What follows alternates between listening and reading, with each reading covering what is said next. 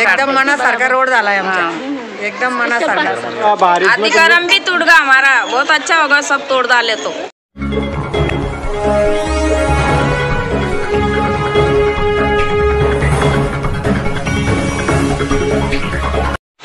हमारे इस इलाके में जो रोड ना होने की वजह से बहुत सी तकलीफ़ थी।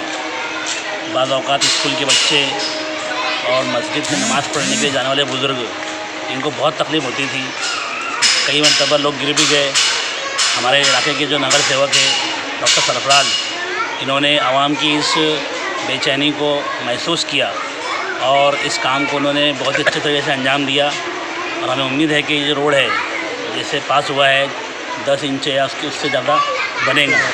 और ये यहाँ जब रोड नहीं था तो बहुत ही ज़्यादा रोडों पर खड्डे थे जिसकी वजह से यहाँ पर आने जाने वालों को बहुत ही मुश्किल का सामना करना पड़ता था। लेकिन नगर पालिका की मदद से हमारे इलाके के नगर सेवक इन्होंने बड़ी मेहनत की और इस रोड को इन्होंने अच्छे तरह से बनाया है। आवाम जो है बहुत खुश है कि रोड का जो गेज है वो बहुत अच्छा है।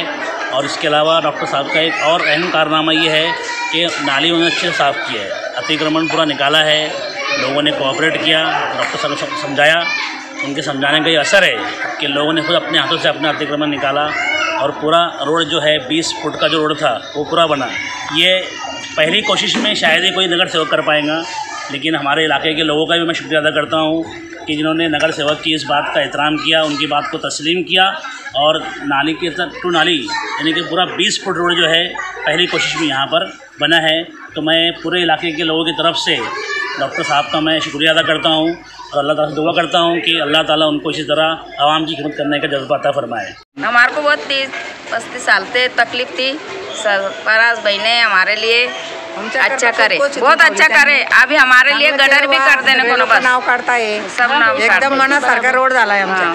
एकदम मनासारखा. सगळे पाहणारे अतिक्रम भी तोड़ डाले हाँ, सरफराज भाई ने गटारी भी केल्या. हाँ बहुत अच्छा हुआ हमारे को. गटारी भी झाली. हाँ हमारा रोड चौड़ा होगा बहुत अच्छा होगा. कैसा नजर लागेल असा रोड झालाय आमचा आता. त्यांनी जैसा बारिश में भी टूट गया हमारा बहुत अच्छा होगा सब तोड़ डाले तो। उससे रोड चौड़ा। होगा शादी भी देखो को बहुत अच्छा होगा अभी सबको अच्छा। अब बस हमारे को गडर की है बस। बारिश की बहुत तकलीफ़ थी।